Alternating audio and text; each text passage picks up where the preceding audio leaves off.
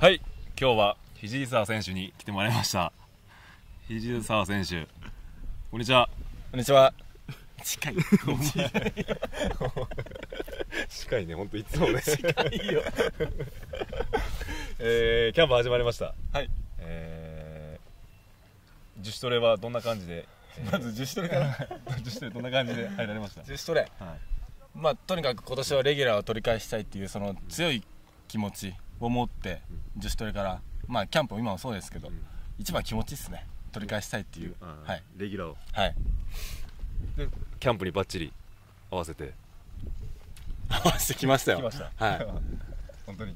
まあ充実してますね。やっぱりその取り返したいって思いがあればすごい内容も濃くなるしやってる練習もやりがいを感じてるというか、まあ、常に全ての練習においてそのレギュラー取り返したいっていうその気持ちは必ず持ってますね、はい、まあ、外野手争いも厳しい。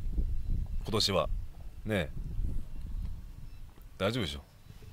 大丈夫でしょ。ねまあとにかく和夫さんも外野来ましたけど、まあとにかくそれってやっぱり首脳陣の方に対して僕がしっかりしてないからこういう不安になってしまったと思うのでもう一度そのセンターとしてできるっていうところをアピールできればまあセンターとしていけると思ってるんでまあ敵が和夫さんではなく自分がしっかりとできればいけると思ってますね。元気になったね。やっぱ盗塁も。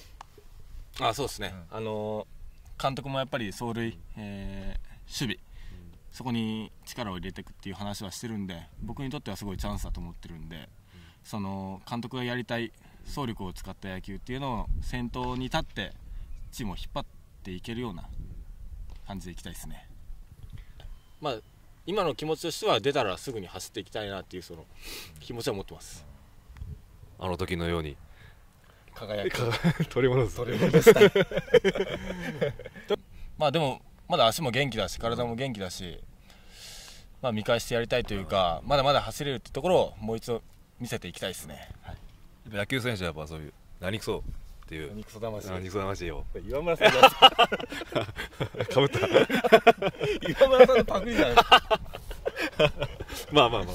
まあしっかりとレギュラーを取ること、まあそしてセンターで行くこと、一番センターとして行きたいですね。はい。そこを目指していきたいです。開幕。はい。一番バッターで。一番じゃないとやっぱ盗塁も増えないし、また相手から1番肘差は嫌だなっていうそんな選手でいきたいですね、はい、9番だとラッキーだなってこうならないように1番として1番らしい打者としていきたいですね。あの時のように。あの時のように輝きを 取り戻したい。何くそ。魂。岩村さんじゃない何回これ ここで岩村さん出ると思わなかった。じゃあ期待してます。え？まだ行く？いいキャンプの部屋の話いやもうもう